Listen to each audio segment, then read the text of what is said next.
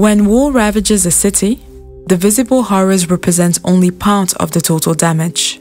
Every element of a city and people's lives is so interconnected that each consequence leads to another.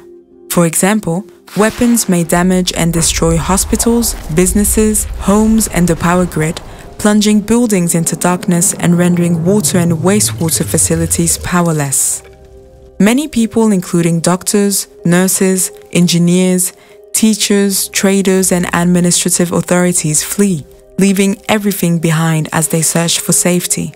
With the loss of skilled workers, essential services are further weakened. Telecommunications and financial services stop functioning. Blockades and insecurity lead to supply chains breaking down. Markets and store shelves lie empty. Infrastructure remains unrepaired, and survival is even harder for those who don't flee and stay in the city. Fighting and unexploded munitions pose a constant threat. Food and medicine shortages, joblessness, and economic collapse create a chain reaction where people cannot find or afford water, food, and healthcare just when they need it most.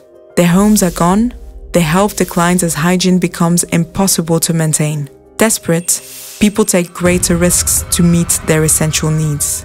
Family ties are fractured, the dead are left unattended. As schools close, children growing up in a war zone face a bleak future. Each instance of civilian harm leads to multiple cascading effects, or second and third order effects, with complex interdependencies between them.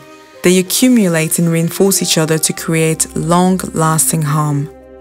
This doesn't happen on the first, second, or third day, but over time, a spiral of harm affects people's safety, food and economic security, physical and mental health, and ultimately exceeds the capacity to cope. And this cycle of harm can trap communities for generations. To break the spiral, governments and armed actors must prioritize the protection of civilians in all urban military operations in their doctrine, training, and planning for urban operations.